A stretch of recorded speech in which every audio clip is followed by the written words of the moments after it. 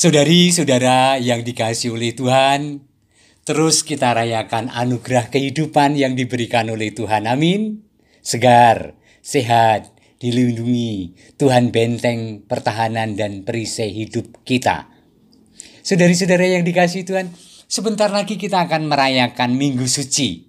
Puncak hidup Kristiani yaitu perayaan Paskah. Pertanyaan yang simple yang menjadi tradisi dalam hidup kita.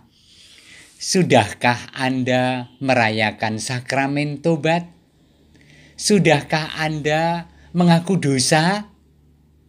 Banyak di antara kita yang belum. Atau banyak di antara kita sebenarnya sudah tetapi rasanya belum. Kenapa?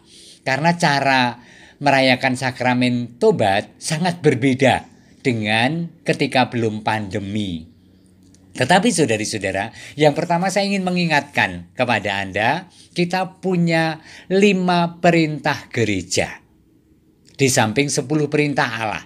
Dan dalam lima perintah gereja itu di antaranya dikatakan merayakan sakramen tobat setidaknya setahun sekali menjelang Paskah.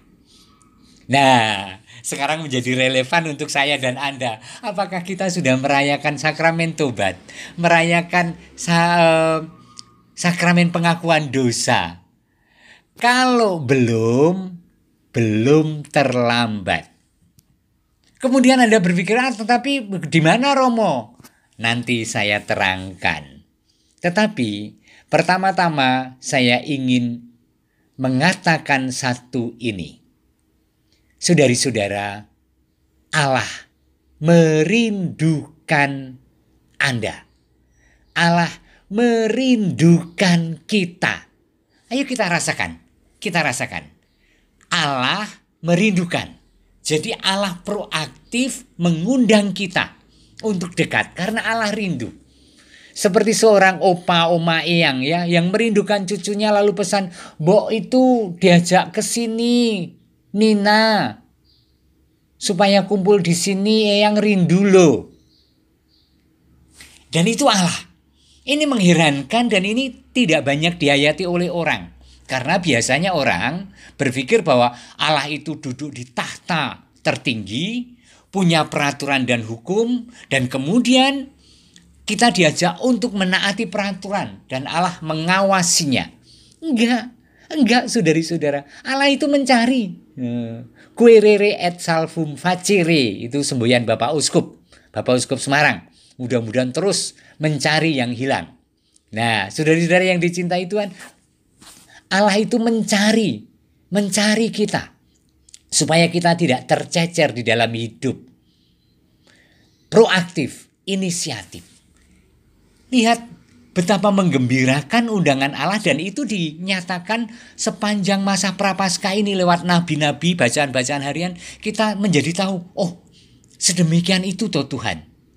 Tuhan yang tidak menghukum, Tuhan yang membatalkan malapetaka, Tuhan yang membatalkan kemurkaan, Tuhan yang penuh belas kasih, Tuhan yang merengkuh, Tuhan yang melindungi, Tuhan yang membaharui Bahkan dalam kitab Nabi Yeskiel bab 36 dan 37 dikatakan bahwa karena kita itu tidak berdaya dan berdosa dan berdosa dan tidak pernah maju, roh Allah sendiri diletakkan dalam batin kita. Taurat Tuhan diberikan kepada jiwa kita. Dahsyat loh, luar biasa loh. Dan itu Anda loh, dan itu saya loh. Tanpa menghitung dosa dan pelanggaran loh ada lagu yang sangat indah menurut aku. Aku senang lagu ini. Uh, sejauh timur dari barat saya carikan. Ada enggak ya? Saya tadi, nah ini. Sejauh timur dari barat engkau membuang dosaku. Tiada kau ingat lagi pelanggaranku. Jauh ke dalam tubir laut Engkau melempar dosaku. Tiada kau ingat Tiada kau perhitungkan kesalahanku. Itu Mazmur mengajak kita untuk menyadari Allah yang membuang dosa, Allah yang melempar kesalahan kita jauh ke tubir laut. Dari dari timur sampai ke barat. Betapa membahagiakan. Maka gereja mengundang Anda Gereja mengundang saya, gereja mengundang setiap orang untuk memperbarui diri sebelum merayakan Paskah. Kapan itu? Ya hari-hari ini, sebelum Paskah. Nah, hari ini secara online, live streaming, diadakan sakramen tobat dengan absolusi umum dari rumah masing-masing. Tinggal buka uh, channel uh, Komsos Santo Yohanes Rasul Wonogiri dan kita bisa merayakan sakramen tobat itu Jumat hari ini jam 6 sore atau jam 18. Nanti kurang lebih Anda menyiapkan diri di rumah, membuat, membuat altar kecil seperti kalau kita bisa streaming, dan kemudian mengikuti. Kurang lebih adalah penelitian batin di tempat masing-masing. Dan kemudian pernyataan bahwa saya menyesal atas dosa saya mohon uh, pengampunan dan uh, dan denda dosa. Dan kemudian doa tobat bersama bersama itu masing-masing di rumah dipimpin oleh seorang imam. Dan kemudian uh, imam akan memberi absolusi uh, dalam konteks sakramen tobat saya membebaskan engkau dari segala dosamu, lalu berkat Bapa dan Putra dan Roh Kudus. Amin. Nyes, plong, segar, sukacita. Oke? Okay?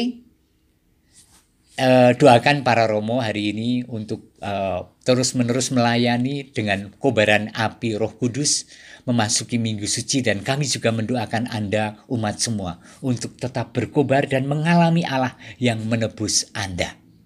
Selamat memasuki minggu suci dan rayakanlah sakramen tobat juga secara online sore nanti atau hari ini Jumat tanggal 26 uh, eh, Maret jam 6 sore. Ayo semangat menerima undangan Allah untuk menjadi bersih suci. Tuhan memberkati Anda dan keluarga, Bapa dan Putra dan Roh Kudus. Amin.